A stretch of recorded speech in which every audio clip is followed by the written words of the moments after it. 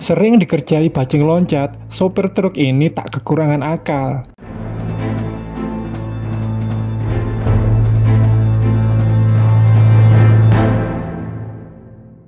Dia memasang kamera CCTV di belakang truknya, tentu terhubung dengan kamera di depan di dekat sopir, sehingga sopir bisa melihat kejadian apa yang terjadi di belakang truknya.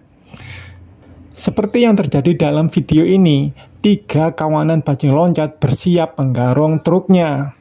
Sang sopir tentu tahu akan dijarah lewat CCTV yang dipasangnya.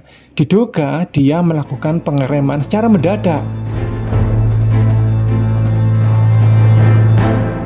Sehingga tak ayal kawanan bajing loncat bermotor itu terjerembab tak berdaya. Satu kawanan yang masih bergelantungan urung meneruskan niat jahannya karena kurangnya dukungan logistik, eh dukungan pelarian dari kawan-kawannya.